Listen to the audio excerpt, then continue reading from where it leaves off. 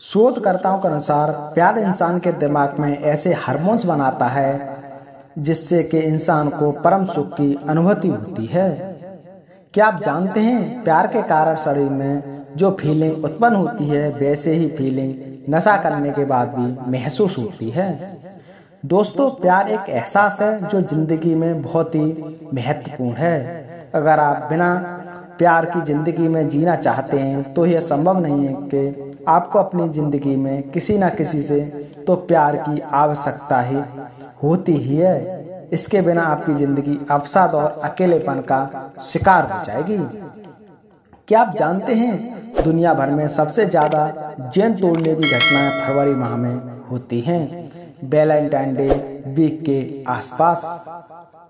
अमेरिकी health website Healthline के मुताबिक obsessive M love disorder OLD एक तरह की साइकोलॉजिक कंडीशन है, जिसमें लोग किसी एक शख्स पर आसमान रूप से मुक्त हो जाते हैं और उन्हें लगता है कि वो उससे प्यार करते हैं। उन्हें ऐसा लग, लगने लगता है कि उस शख्स पर सिर्फ़ उनका हक है और उसे भी बदले में उनसे प्यार करना चाहिए।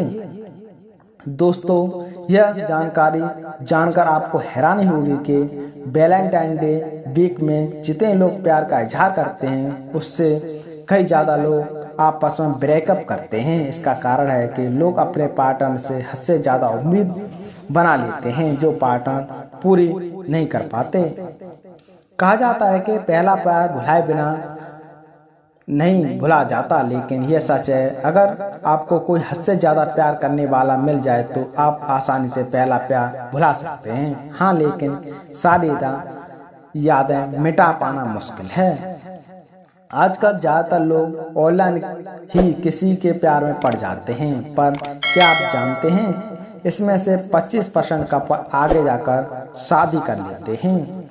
जो कपल दिन में कम से कम 15 से 20 मिनट साथ में हँसी मज़ाक करते हैं तो उनका रिश्ता बहुत जल्दी अच्छा बना रहता है और हँसी मज़ाक से रिश्ते में हमेशा पॉजिटिव एनर्जी बनी रहती है। सुबह सुबह अपनी पार्टनर को किस करने से आपका पूरा दिन पॉजिटिव रहता है, साथ ही इससे लोग कम से कम पाँच साल ज़्यादा जीते हैं।